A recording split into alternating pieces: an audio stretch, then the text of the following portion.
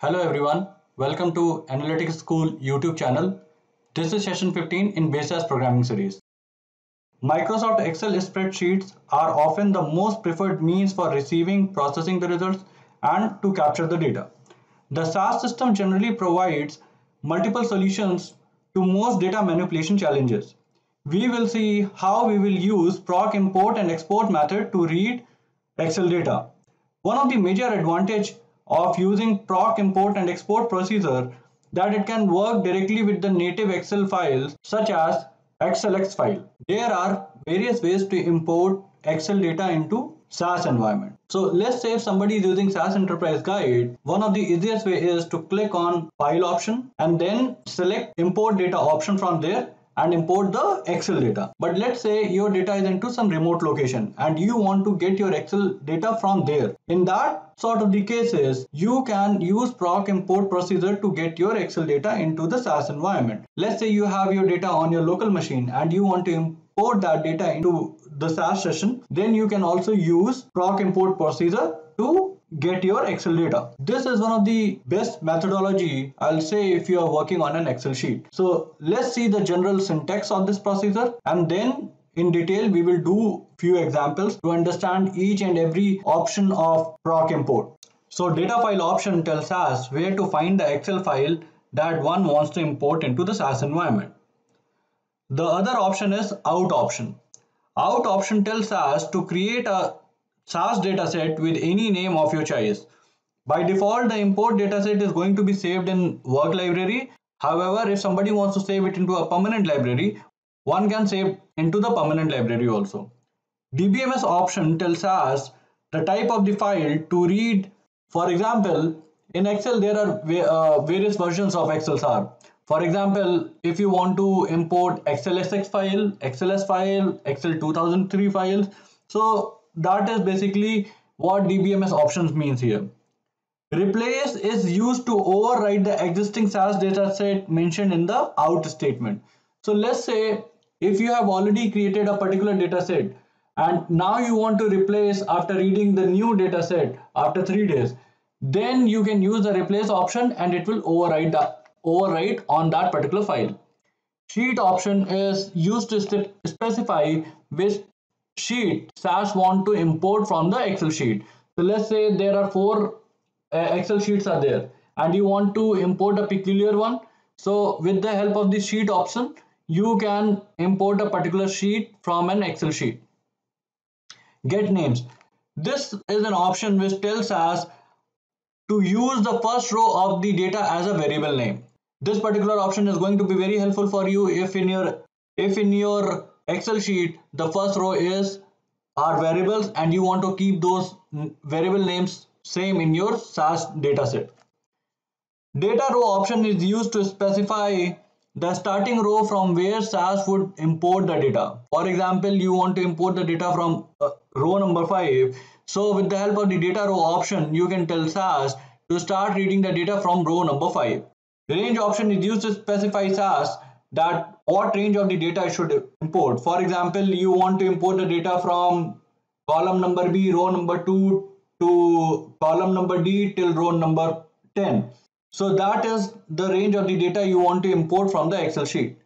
Mixed option tells us to convert all the numerical values to character where a column contains both numeric and character data. Scan text option tells us to scan the column to determine the character length and scan time option tells us to assign time for a particular co a column or a particular variable. Let's say there is a particular column in your excel sheet uh, which is into the time format. Then scan time option can be helpful for you. Use date option tells us to read the date field into date 9 format from the excel data. So this is all about uh, the options which are there in proc import procedure let's see a data set and then we will do an example how we can pull an data using proc import procedure. So this is a data set which we are going to work on. Here you can see this is an Excel sheet and this is our data employee ID, age, attrition, business travel, daily rate, department, distance from home, education and there are and there are a lot of other variables which are related with a particular employee and you can see that how many working hours are there uh, what is the training time last year work life balance year at company years in current role years with current manager so there are a lot of variables with this particular data set and it is into the excel sheet so we will try to import this data and create a SAS dataset from an Excel sheet.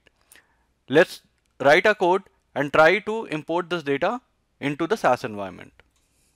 This is a code which I have already written and as you can see the syntax which we are seeing previously the same format I have used to import the Excel data into the SAS environment. And this time we are going to save into a permanent library AS and as you can see this is our attrition data set which is into an Excel format. And here you can see the data file option. And you can see the location of the attrition dataset is saved into my local machine. Here I have used the out option and I am saving this particular dataset in my permanent library in SAS environment and this will create ATT's dataset. DBMS is equal to XLS DBMS equal to XLSX is basically an identifier that is it's an Excel file which we are importing. Sheet equal to employee that this is the only sheet from the Excel dataset which we are going to import. Get names equal to yes option tells SAS that we want to keep the same variable name which is there into an Excel dataset and then we are going to run our program. Let's run the program and then we are going to see that whether we are able to successfully import this Excel dataset into a permanent library and create a SAS dataset.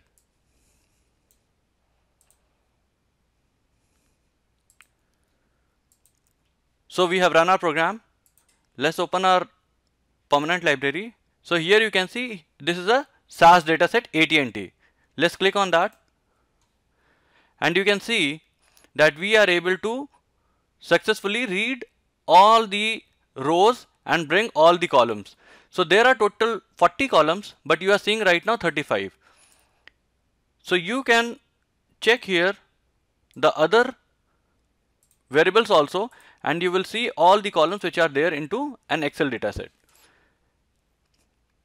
Since we have saved into a permanent library, you can call the permanent library every time and you can have an access to this SAS dataset for your further analysis. Now we are going to use proc export procedure to export a SAS dataset into our local machine or to a remote location where we want to save our SAS dataset into an Excel format or any other format of our choice. So most of all the options are same as of proc import procedure except two. One, here you can see in proc export data equal to SAS dataset in import procedure, we use data file option. And in place of out file option, we are using out option to let SAS know that where we want to save our Excel dataset which we want to create from our SAS dataset. Now let's run the program and see how we are going to export a SAS dataset onto a local machine. So let's use proc import procedure and try to read a SAS dataset class which is in SAS help library. SAS help library is a permanent library which is there in SAS dataset and you can use any of the dataset for your analysis. And we are going to read class dataset which is in SAS help library and we are going to read this dataset and will import in our local machine. So this is the code and as you can see it is similar to the syntax what we have seen just now and we are going to run the code and we are going to see that how we can save an Excel dataset from a SAS dataset.